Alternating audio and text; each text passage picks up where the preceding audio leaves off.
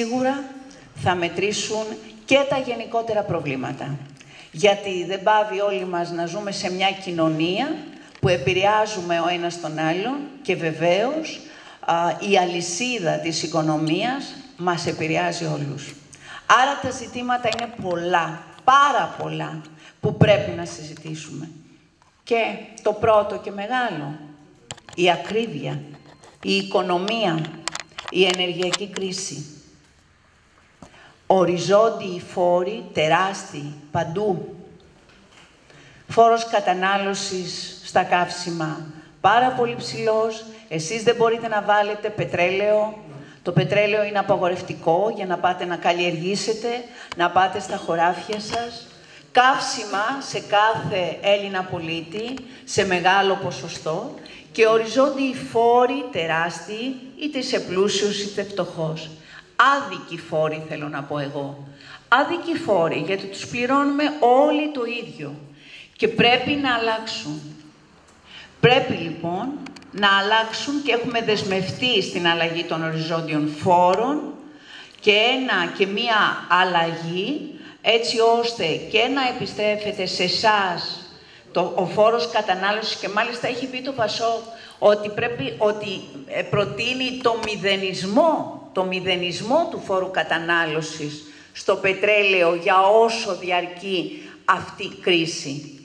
Έτσι, εκτός των, των θεμάτων των υπολείπων που τα έβαλαν και οι προηγούμενοι συνυποψήφοι, δηλαδή με, τον, με τη μείωση του φόρου του ΦΠΑ στα αγροτικά εφόδια, την προστασία της αγροτικής γης και βεβαίως το ακατάσχετο των ε, αποζημιώσεων και των ενισχύσεων που σας δίνουν. Η ενεργειακή κρίση νομίζω ότι ε, αναλύθηκε και από τους προηγούμενους.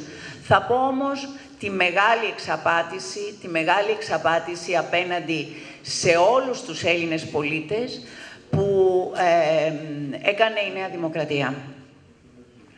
Δεν είναι μόνο το χρηματιστήριο ενέργειας. Το χρηματιστήριο ενέργειας είναι μια ε, επιταγή της Ευρωπαϊκής Ένωσης, την οποία αργά ή γρήγορα θα μπορούσαμε να την είχαμε, την κύρωσε ο, ο Τσίπρας και την εφήρμοσε βεβαίως και την ενεργοποίησε ο κύριος Χατζηδάκης, όταν ήταν στο Υπουργείο ε, Περιβάλλοντος.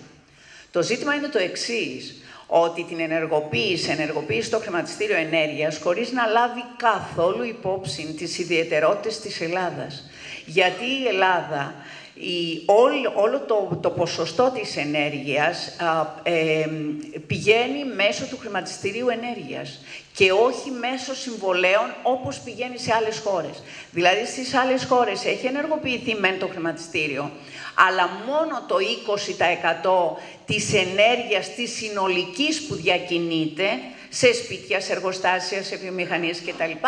Περνάει μέσα από το χρηματιστήριο ενέργειας. Το υπόλοιπο 80% περνάει μέσα από διμερή συμβόλαια. Δηλαδή, εγώ είμαι μια βιομηχανία και θέλω πάρα πολύ ρεύμα να πάρω, πάρα πολλές μεγαβατόρες, κάνω συμφωνία με εσένα που την, που την παράγει στην ενέργεια και κάνω ειδική τιμή. Έτσι, άρα εκεί λοιπόν, έξω στο εξωτερικό, στις άλλες χώρες, αυτό έχει μια τελείως διαφορετική επίπτωση, γιατί απλούστατα εκεί έχει, το 80% είναι μες συμβολέων. Σε εμάς εδώ λοιπόν, έτσι, χωρίς λοιπόν να δει τις ιδιαιτερότητες και χωρίς να ελέγξει αυτά τα πράγματα, ε, ενεργοποιεί το χρηματιστήριο ενέργειας και περνάει όλη η ενέργεια μέσα από εκεί, έτσι, με ε, το λόμπι του φυσικού αερίου να είναι τόσο πολύ ισχυρό, ώστε να κανονίζεται η τιμή μόνο από τη τιμή που είχε η παραγωγή από το φυσικό αέριο. Και οδηγηθήκαμε βεβαίως σε αυτές τις τεράστιες τιμές. Πού να σημειώσουμε, ήταν πολύ πιο πριν από τον πόλεμο. Δηλαδή βγήκαν και είπαν ότι, ε, ξέρετε, έγινε από τον πόλεμο. Δεν έγινε από τον πόλεμο η ενεργειακή κρίση. Είχε ξεκινήσει πολύ πριν, έτσι. Δεχθήκαμε όλοι τεράστιους λογαριασμούς με έναν... Ναι, ναι, τεράστιους λογαριασμούς με έναν... Ε, με μία ρήτρα αναπροσαρμογής, έτσι, και εξαπάτησαν τον ελληνικό λαό λέγοντας ότι η ρήτρα αναπροσαρμογής θα καταργηθεί, ενώ ουσιαστικά η ρήτρα αναπροσαρμογής ενσωματώθηκε στην τιμή και επιδοτήθηκε από το κράτος με τα χρήματα όλων μας, με τα χρήματα δηλαδή, που, που πληρώνουμε όλοι μας παραπάνω στο ΦΠΑ και στο φόρο κατανάλωσης του πετρελαίου. Έτσι. Αυτές είναι οι πολιτικές της Νέας Δημοκρατίας. Έχουν πρόσημο οι πολιτικές της Νέας Δημοκρατίας. Και το πρόσημο είναι συγκεκριμένο, δεν είναι κάτι διαφορετικό που οι μεγαλύτεροι από εσάς ξέρουν ότι ήταν και στο παρελθόν. Οι πλούσιοι πλουσιότεροι και οι φτωχοί φτωχότεροι.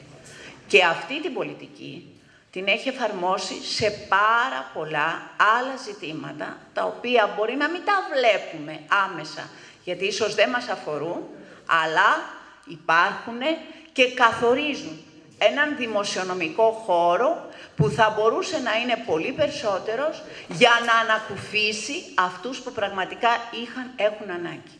Ενδεικτικά θα σας πω, έτσι, μείωσε, μάλλον μηδένισε τελείως το φόρο, εκείνη τις, το, την, τις γονικές παροχές ε, ε, από τους γονείς στα παιδιά, με ε, περίπου 4 εκατομμύρια αφορολόγητο τελείως, έτσι ώστε κανένας δεν πληρώνει σε αυτό. Επίσης μείωσε τα διανεμόμενα κέρδη στις μεγάλες επιχειρήσεις στο 5% και σας λέω κάτι, τα τελευταία τέσσερα χρόνια οι μεγάλες επιχειρήσεις έχουν αυξήσει τα κέρδη τους υπερβολικά. Έχουμε υπερκέρδη σε κάποιες επιχειρήσεις στους μεγάλους ομίλους. Όπως επίσης έχουμε υπερκέρδη στις τράπεζες. Οι τράπεζες με το μεγάλο χάσμα μεταξύ επιτοκίων καταθέσεων και επιτοκίων δανείων, ε, τα κέρδη που έχουν συσσωρεύσει είναι τεράστια. Και σε αυτά λοιπόν δεν μιλάει καθόλου, μιλάει, ψελίζει κάτι για φορολογία, η οποία ποτέ δεν έχει έρθει και ποτέ δεν την έχουμε δει. Και ποτέ δεν, έχει, δεν, δεν πρόκειται και να γίνει, διότι αυτή είναι η πολιτική τους, η συγκεκριμένη. Δεν έχουμε κάτι να περιμένουμε. Ναι, τελειώνω. Ναι, τελειώνω. Τελειώνω. Λοιπόν. Θα έλεγα λοιπόν, θα έλεγα λοιπόν, ότι αυτό όλο που βιώνουμε τα τελευταία χρόνια φουσκώνει σαν το νερό του ποταμού που χύνεται στο ποτάμι και σιγά σιγά ανεβαίνει στάθμη του. Γιατί οι πολίτες σήμερα όλοι μας με αυτά τα οποία βιώνουμε τα τελευταία χρόνια φαίνεται σαφέστατα ότι πρέπει κάτι να αλλάξει. Πρέπει να αλλάξει η οικονομία, πρέπει να αλλάξουν ή να αλλάξει η φορολογία, πρέπει να αλλάξουν τα εργασιακά, πρέπει να αλλάξουν πάρα πολλά για να πούμε πια ότι μπαίνουμε σε μια ανάπτυξη όχι με πύληνα πόδια, αλλά σε μια ανάπτυξη βιώσιμη, γιατί δεν θα μπορεί κανένα παιδί να μείνει εδώ. Λοιπόν, θα σας πω κάτι και με συγχωρείτε που καθυστερώ, αλλά θα πρέπει να το πω. Σήμερα λοιπόν καλέσανε το γιο μου σε μια, ε, σε μια εταιρεία οι εταιρείες ξέρετε ότι ε, δεν βρίσκουν επαγγελματίες σήμερα. Γιατί; Γιατί οι επαγγελματίες που τελειώσανε, οι μηχανικοί που τελειώσανε τα προηγούμενα 10 χρόνια έχουν φύγει οι περισσότεροι στο εξωτερικό. Γιατί δεν βρίσκανε δουλειά εδώ και φύγαν όλοι στο εξωτερικό. Και αυτή την ώρα λοιπόν έχουμε έλλειψη παιδιών που τα έχουμε σπουδάσει εμείς με τα δικά μας τα λεφτά και όχι με, με, με το κράτος, αλλά παιδιά τα οποία θα μπορούσαν να προσφέρουν εδώ στην Ελλάδα για να υπάρχει αυτή η ανάπτυξη που θέλουμε. Αυτό λοιπόν πρέπει να προσπαθήσουμε. Αν δεν αλλάξει αυτό, αν δεν αλλάξει η πολιτική σελίδα, δεν υπάρχει περίπτωση. Και τώρα είναι κομβικής σημασίας οι εκλογές της 21ης Μαΐου. Πιστεύω ότι το έχουμε καταλάβει όλοι. Πιστεύω ότι η φωνή έρχεται από παντού, από παντού στην Κορινθία και από παντού στην Ελλάδα. Αισιοδοξώ ότι στις εκλογές και στην κάλπη της 21ης Μαΐου θα εκφραστεί ο κάθε ένας από εμάς και θα δώσει στη Δημοκρατική Παράταξη και πάλι τον πρωταγωνιστικό ρόλο που, ε, που είχε διαχρονικά. Γιατί όσα έχει κάνει έχουν σφραγίσει τη σημερινή Ελλάδα και είμαι σίγουρη ότι σε αυτά δεν έχουν κανείς να αντιπαραβάλει τίποτα. Τα όσα έχουμε κάνει είναι θεσμοί. Παραμένουν μέχρι σήμερα. Δεν έχουν κάνει τίποτα ούτε για το Εθνικό Σύστημα Υγείας, ούτε για την ηλεκτρονική συνταγογράφηση, ούτε για τον ΑΣΕΠ, ούτε για την αγροτική σύνταξη, ούτε για την κοινωνική απελευθέρωση, ούτε για το Open Gov, ούτε για όλους τους θεσμούς που έχουμε κάνει και για όλη τη δημοκρατία. Δεν είναι λοιπόν μόνο η δημοκρατία, δεν είναι μόνο οι θεσμοί, είναι ό,τι έχουμε δώσει στην ελληνική κοινωνία.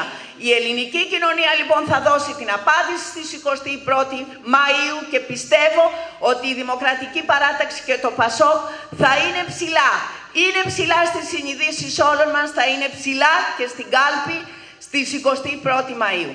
Όλοι μαζί λοιπόν σε αυτόν τον αγώνα, γιατί πιστεύω εκεί έξω μέχρι την επόμενη Κυριακή έχουμε πολλά ακόμα να κάνουμε και πολλά ακόμα να πούμε σε, στη γειτονιά μας, στο φίλο μας, στο συνοδοιπόρο μας, στο παιδί μας.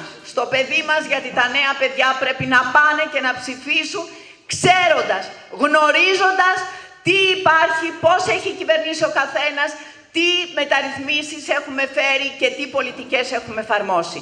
Σε αυτόν τον αγώνα λοιπόν όλοι οι συμμέτοχοι για να έχουμε το καλύτερο δυνατό αποτέλεσμα. Καλό μας αγώνα και σας ευχαριστώ πάρα πολύ.